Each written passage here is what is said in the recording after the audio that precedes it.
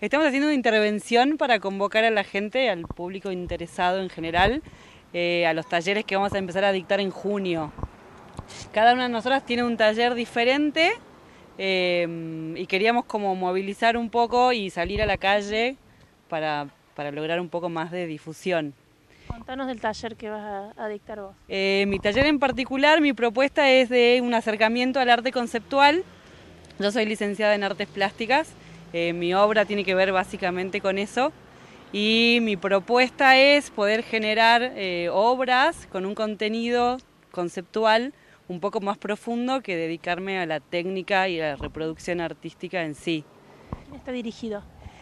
En realidad está dirigido a adultos y a gente que esté un poco más em, adentrada en las prácticas artísticas, aunque también puede venir alguien amateur, eh, sin ningún problema es bienvenido. ¿Hay fecha de inicio? Eh, sí, la primera, el primer viernes de junio empieza mi taller. En general el taller de todas las chicas empieza en, junio y las chicas van a decir qué día empieza cada uno. El mío empieza el primer viernes de junio de 5 a 8 de la noche. Vamos repasando el resto. ¿Cómo te va? ¿Cómo es tu nombre? Eh, soy Laura Giorgiotti, soy arquitecta. Eh, mi taller es de arquitectura efímera. No hace falta ser arquitecto, ni diseñador de interiores, ni ingeniero civil. Está dirigido a un público en general, adultos. ¿Qué es arquitectura efímera? Sí, arquitectura efímera es eh, cualquier tipo de instalación que sea habitable, que sea recorrible. O sea, el ejemplo más claro de arquitectura efímera son las carpas. O sea, es una arquitectura, vos podés habitarla, vivís ahí y cuando no la querés más, la desarmás, es efímero y te lo llevas. El objetivo del taller de arquitectura efímera es generar instalaciones de este tipo eh, en la calle, en el salón cervecero, en la casa del bicentenario, o sea, donde se pueda hacer. Eh, la función de, la arquitectura que se va a generar va a depender de lo que surja dentro del taller. Eh, la idea es que, como está dirigido a gente que no, es profesional del diseño, en diferentes módulos, el taller dura tres meses, en esos tres meses ir explorando el proceso de diseño de cada persona a través de la literatura, a través de la música, a través de las artes plásticas eh, y a través de la experimentación con materiales.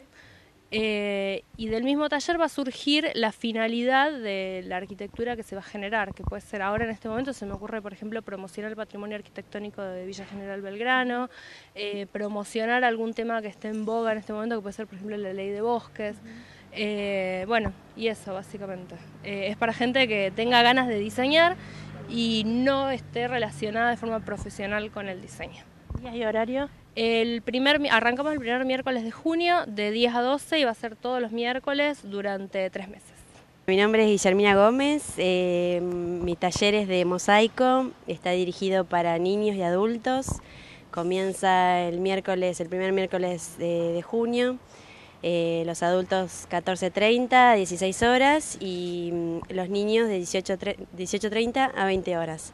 Eh, el primer mes Vamos a mm, eh, comenzar a interiorizarnos con lo que es el material y el uso de las herramientas, eh, a cortar mm, en principio el mosaico, eh, los que son los azulejos que usamos en el baño, o sea que si quieren ir trayendo, bienvenidos. ¿Con fines ornamentales?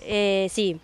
Después vamos a trabajar con venecitas y bueno, después vamos a ir cada vez avanzando un poquito más y bueno, utilizando otros elementos más como para enriquecer el trabajo. ¿Hay que tener algún conocimiento previo? No, no, no es necesario porque vamos a empezar desde el nivel muy básico y después vamos a ir avanzando. El taller es anual, entonces ya está toda la propuesta armada para que, o sea, que el avance sea continuo durante todos estos meses. ¿Traer algún material? No, no, el primer mes yo les voy a otorgar todo y después lo que vamos a hacer, si ellos están interesados en, en el taller, pueden ir comprándose las herramientas para poder trabajar en casa y poder avanzar un poco más. Eh, pero en principio el primer mes estaría todo incluido. Bueno, el taller se llama Taller de Arte Experimental.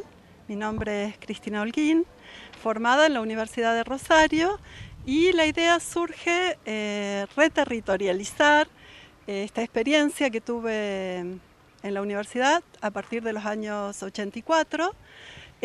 fue un taller muy libre donde lo más importante era poder elegir dentro de las opciones que uno creía para formarse y desarrollar un propio proyecto.